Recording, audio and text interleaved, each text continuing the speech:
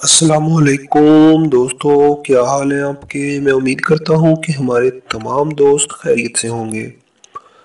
तो दोस्तों, हमेशा की तरह आज भी जो है मैं आप लोगों के लिए एक रिश्ता जो है वो लेकर आया हूँ।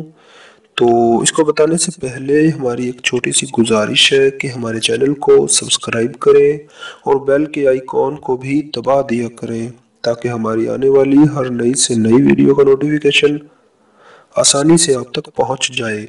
और हमारा साथ यूँ ही बना रहे।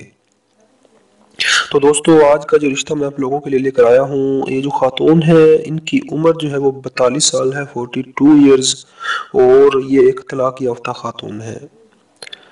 तो इसके अलावा जो सबसे अहम बात मैं आपको बता दूँ कि ये एक बान खातून है, यही वजह थी इनकी तलाक की कि इनको बच्चे नहीं हुए थे। तकरीबन 10 से 12 साल इनकी शादी रही है, लेकिन बच्चे ना होने की वजह से इनके शोहर ने इनको छोड़ दिया और ख़ुद दूसरी शादी कर ली। तो बतालीस साल उम्र है बाज खातून है, तलाक याफ्ता है, चार साल हो गए हैं, इनका तलाक हुए। इस वक्त जो है ये अपने वालदेन के घर पे सियालकोट सिटी में रहती हैं। इनकी तालीम मैट्रिक है, यानी कि दस जमात पास है। इनकी जो हाइट है पाँच फुट तीन इंच है। इसके अलावा मुसलमान है, फ़िरका जो है इनका वो देवबंद है। तो इनकी जो कास्ट है, ये मलिक अवान बरदरी से इनका ताल्लुक़ है। तो वो हमारे दोस्त मर्द हजरात जो शादी करना चाहते हैं, ऐसी किसी खातून से।